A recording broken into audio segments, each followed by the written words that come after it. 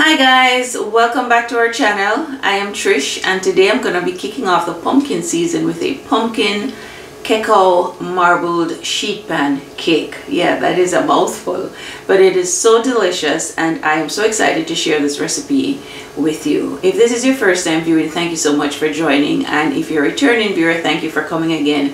Please remember to like the video guys, share and give some love to the channel. Alright, so without much ado, or further ado, let's get right into the video. Okay guys, so in the meantime, my oven is being preheated at 350 degrees. All right, I'm starting with a um, um, utility pan here. And the first thing I'm gonna do is add my oil. And this is about a quarter cup of EVOO. And then I'm adding a how much is this? I want to say it's about a quarter cup of almond homemade milk you can use um, whole full fat cow's milk if that's what you're um, if that's what you have. That's what I would have used but I have none of that today so I'm just using the almond milk. Um, I just added two large whipped eggs. I'm gonna go ahead and whisk that and this is one of those cakes, guys, where you can just dump everything in. Okay, no specifications or anything like that. Alright, I'm going to mix that in really well. And then I'm going to put my sugar in. Alright, this is a cup and a half of coconut sugar.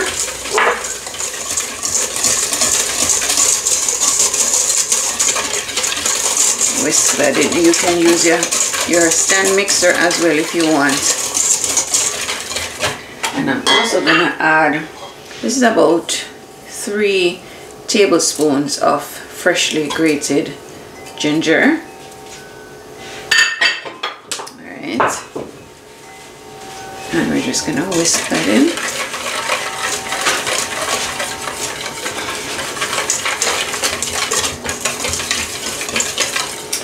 Also gonna add to that um, a teaspoon of five spice.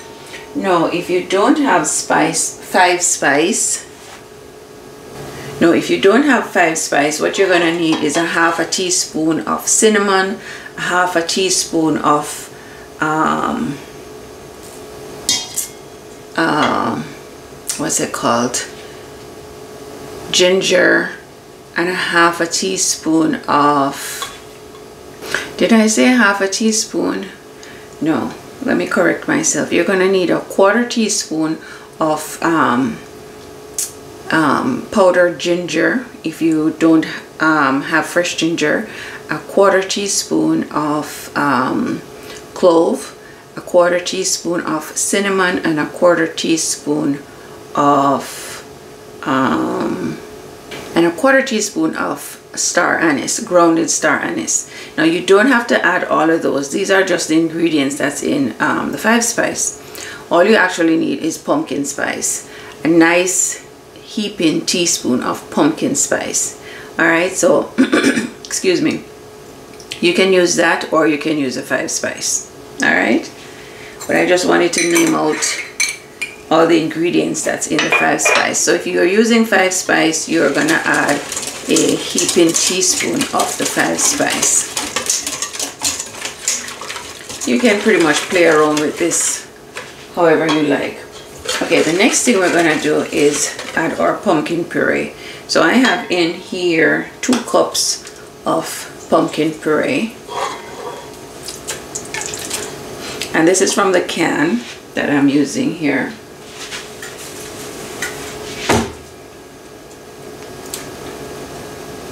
Don't remember what brand of pumpkin puree this is but I would think any any brand would be okay. The two cups of pureed pumpkin.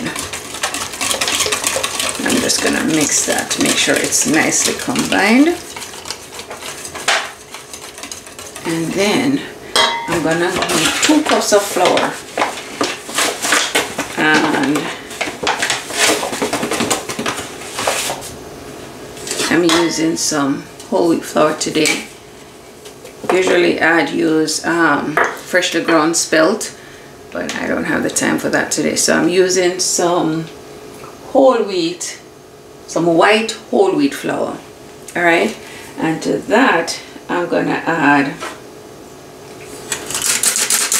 First of all, let's get it out here. Debbie, can you open this for me, honey? Open the baking powder for me. To that I'm gonna add a teaspoon and a half of baking powder.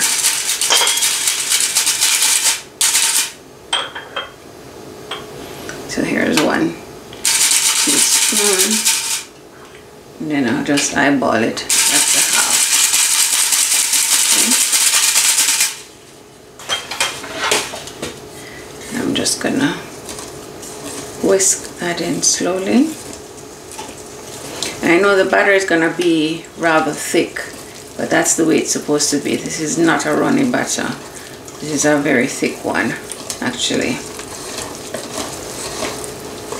Don't want to over mix, mix this um, flour because we don't want it to be too doughy. And that's why I'm using a whisk to kind of keep some air in it.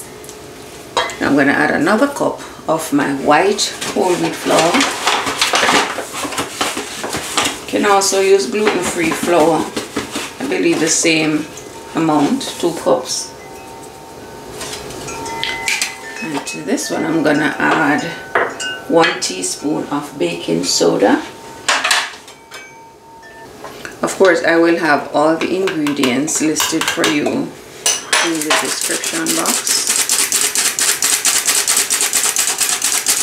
trying to do everything to keep air in this flour because as you know whole wheat flour has a tendency to be very dense. You can also use cake flour if you want. That's what you're into.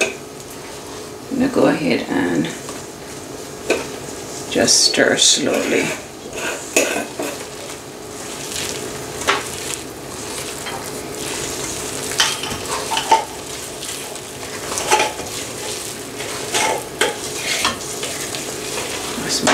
everything is nicely combined.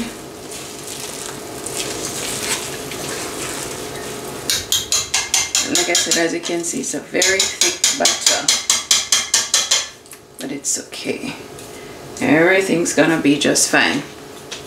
Now I have my sheet pan over here that I'm gonna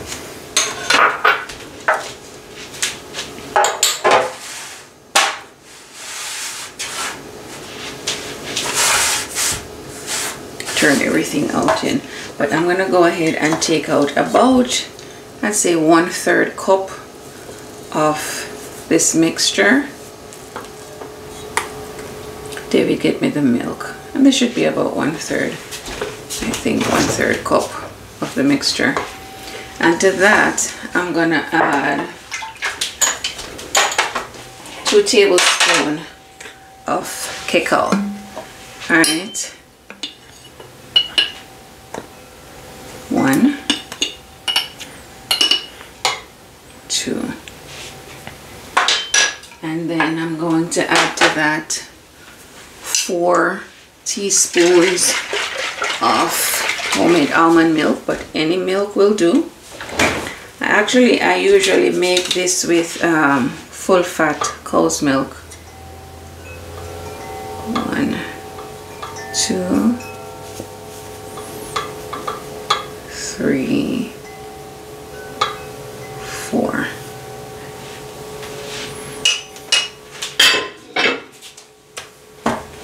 And I'm just gonna mix that until it's all combined. Should have gotten a bigger container, but oh well. Too late now. And that's because the cacao is so light, you know, it goes all over. Alright, so I'm just mixing that. And this is what we're going to use to marble our, um, our batter. Right, see? And that's it. I'm to scrape all my butter out into my sheet pan. Like I said before, you can use whatever pan you like. A Bundt tin makes this very pretty too.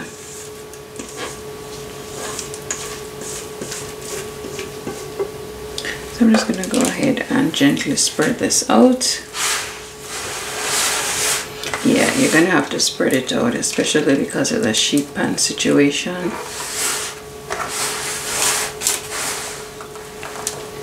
Trying to do that. And I greased the sides of my sheet pan and then I lined the bottom with parchment paper, as you can probably see.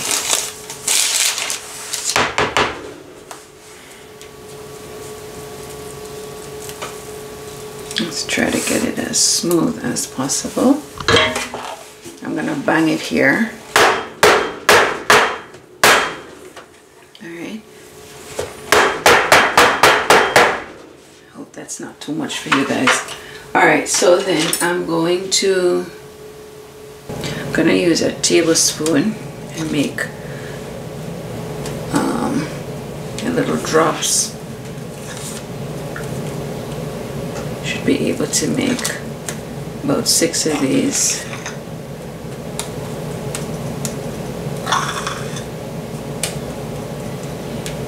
Just about.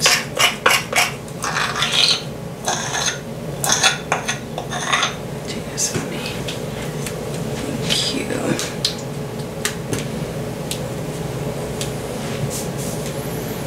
All right. And then I'm going to use a skewer. You can use whatever you want, actually.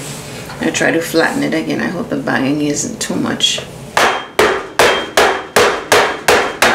Bang it out. And then I'm just gonna play in it, pretty much.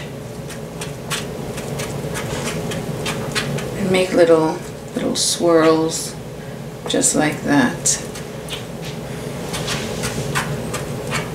Remember how to do this, David? Yeah. Alright. You can do that. Well, I... David's gonna do little swirls.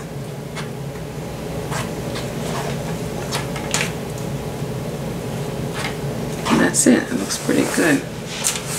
And that's pretty much it. All the swirls. You know, if you're um, good at making swirls, that's even better. But hmm, this is good enough.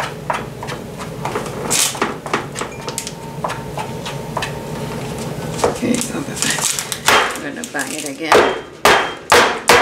And this is gonna go in our oven. Sorry for the banging guys, but you gotta do this, especially when the cake is this dense. Um, I'm gonna put it in the oven to bake for an hour and a half at 350. Okay guys, so our sheet pan cake is all done and actually this took an hour to bake instead of an hour and a half and I'm to leave it on this um, rack to cool for about five minutes before I turn it out onto the um, the rack itself okay guys so it's been about five minutes and I'm just gonna loosen the edges of this cake. It should be nice and loose, but just making sure. Okay, sounds like it's nice and loose.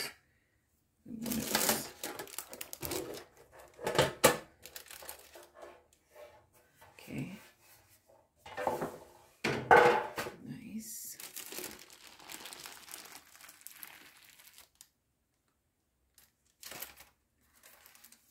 I'm going to allow this to cool completely. What I like to do is place another rack on the bottom. So. And then just flip it. So I'm going to allow it to cool. What I like to do is like cut it in squares after it's done. But I'm going to allow it to cool a little bit more. And then I'll come back and show you how pretty it looks. Okay guys, so it's been about 15 minutes. So I'm going to go ahead and start slicing this up. into squares. And doing this ahead of time just helps with portion control, you know?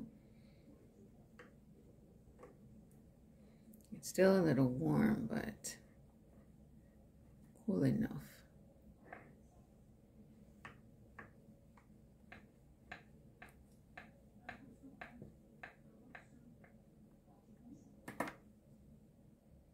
Okay guys, so here's the finished product. I like to store it on my um, my cake stand and line it with um, paper towel so that when it's covered, you know, the moisture is continually absorbed. And this is the finished product. Pumpkin, cacao, sheet pan, swirl cake. And these are pieces of ginger you see sticking out. So until the next video, guys, please remember to like and share. And if you haven't hit the subscription um, bell, please remember to do so so you'll be notified whenever a new video comes out. God bless and thanks for watching again. Bye.